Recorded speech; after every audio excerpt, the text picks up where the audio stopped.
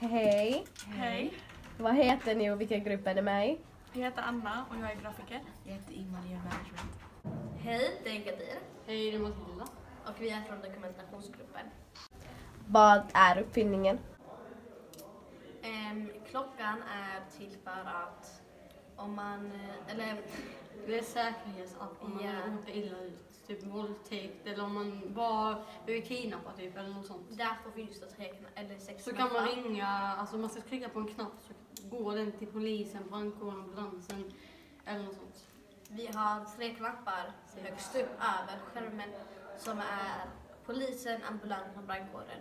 Och tre där nere, ett av dem släpper ut ett ljud som gör att alla runt omkring dig hör vad du är och kommer hjälpa till. Och ett av dem, ett av de, eh, två, de två andra kan du lägga i vilka nummer som vill. Som till exempel dina föräldrar. Eller en vän. Ehm, I klockan finns det också en GPS. Så ehm, om du då larmar till polisen så kan polisen se exakt vad du är.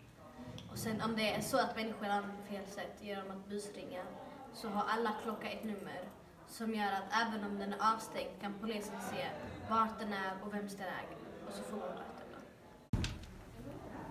Vad fick ni inspiration från? Vi fick vår inspiration från Me Too.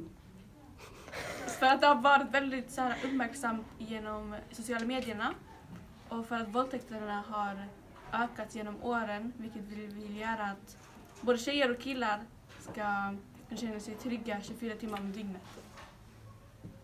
Du ska inte behöva vara rädd för Gud. Tack så mycket.